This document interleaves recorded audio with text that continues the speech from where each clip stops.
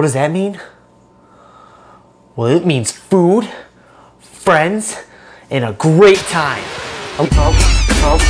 We're gonna sprinkle it on. We're gonna do a little play action with some sauce here. We're gonna sprinkle it on.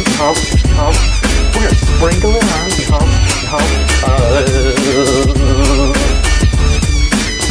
It'll really allow you to stretch that dough and make a perfect pizza. You gotta smush them. That hump, that hump, that hump. And you gotta smush them.